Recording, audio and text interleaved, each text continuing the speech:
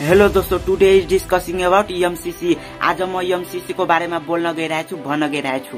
सबभन्दा पहिला मेरो यो भिडियो जतिखेर पनि डिलेट हुन सक्छ किनभने यो भिडियो म अमेरिकाको खिलाफमा अमेरिकाको बहितमा बोल्न गइरहेछु। त्यसैले यो भिडियो जतिखेर पनि डिलेट हुन सक्छ किनभने यो युट्युब कम्पनी अमेरिकाको नै हो। त्यसैले तपाईँहरूसित हात जोडेर विनम्रता अनुरोध गर्दछु कि भने यो भिडियोलाई प्लिज अन्त्यसम्म हेरिदिनु होला सबभन्दा पहिला वाट इज एमसीसी एमसीसी भनेको के हो?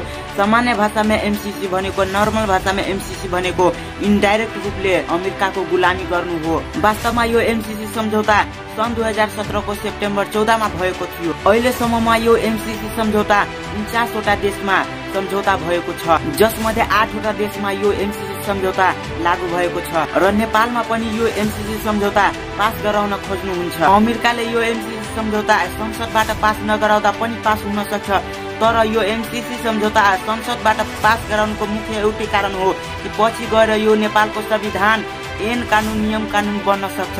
र नेपालको नियम कानुन हुन सक्छ।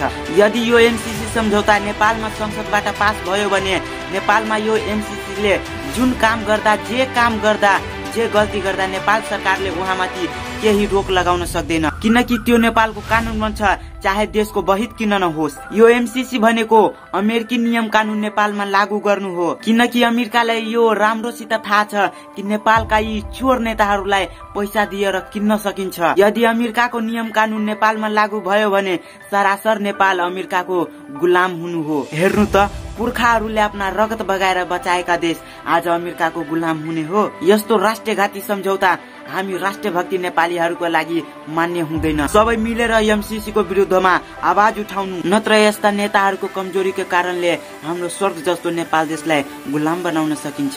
किनकि उहाँहरूलाई राम्रोसित थाहा छ नेपालका नेताहरूलाई पैसा चाहियो पैसा उहाँहरूलाई पैसा दिँदा नेपालका नेताहरूले आफ्नो बहुबेटीलाई पनि बेच्न सकिन्छ। यस्ता लोभ देखाएर भारतमा कयौं शताब्दी पहिला विकास गर्छु भनेर कम्पनी खोलेर बसेका थिए र त्यो लोभ देखाएर भारतलाई कयौं वर्ष गुलामी बनायो। यही लोभका कारणले भारतमा अङ्ग्रेजहरूले राज गरेका थिए तर हाम्रो देश नेपाललाई हाम्रा पुर्खाहरूले रगतका खोला बगाएर बचाएका थिए। तर आज हामी अमेरिकाको गुलाम बन्नु होइन कहिले पनि बन्न सक्दिन। यो देशमा अमेरिकाले जति रुपियाँ नेपालको विकासको लागि दिन्छ त्यो भन्दा दोबर एमसीसी पास गराउनका लागि नेताहरूलाई दिन्छन्। भनेको पाँच रुपियाँको लोभ देखाएर पचास रुपियाँका सामान अमेरिकामा भित्र्याउँछन्। जति पैसा अमेरिकाले नेपाललाई दिन्छ त्यसको दस गुणा नेपालमा छ। जस्तै यातायात ट्याक्स इन्सल बिजुलीको बिल हेर्नु यो पैसाहरू जम्मा गर्दा नेपालको विकास हुन सक्छ।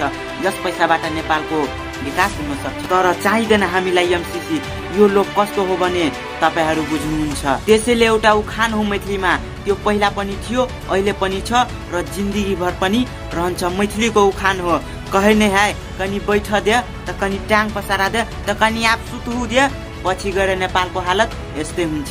एमसिसी आएपछि हामीहरू अमेरिकाको गुलाम बन्छौँ। त्यसैले सबैजना एकजुट हो। चाहिँदैन हामीलाई MCC no MCC go back MCC please go back MCC त्यसैले यो भिडियोमा मलाई लाइक चाहिँदैन।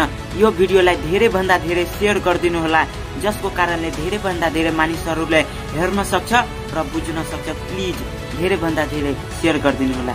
एउटा सेयर किनभने जतिखेर यो भिडियो मेरो डिलेट हुन सक्छ त्यसैले प्लिज धेरैभन्दा धेरै सेयर सेयर गरिदिनु होला। प्लिज आजको लागि यतिकै धन्यवाद। जय Nepal.